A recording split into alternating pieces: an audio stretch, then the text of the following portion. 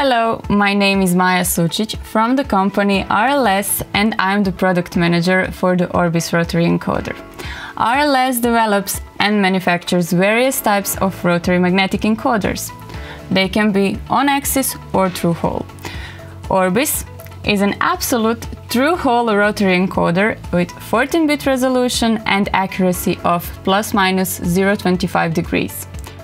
It is suitable for applications where a typical on-axis encoder cannot be mounted at the end of the rotating shaft because the shaft must pass through the encoder. Orbis through-hole measuring principle allows customization with various board and magnet sizes to suit your application. The battery-powered multi-turn counter allows the encoder to count shaft rotations even when main power is not available. The main applications are electric motor for like robots, gimbals and autonomous moving platforms. Orbis has a built-in self-calibration algorithm that improves the accuracy of the encoder after installation. The self-calibration function allows for easier installation as it virtually centers the read head and the magnet onto the same axis. Eccentric mounting of the magnet and off-center read head are dominant contributors to the inaccuracy of the encoder.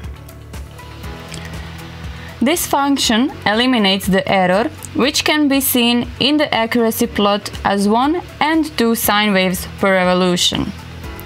We see that the error before self-calibration is 1.14 degrees.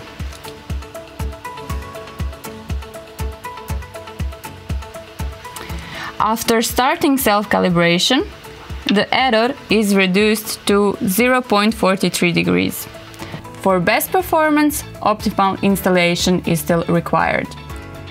The self-calibration function can be triggered by the user via selected communication interface or by using the corresponding USB encoder interface. For more information about the whole range of Orbis encoder, you're invited to take a look at our website.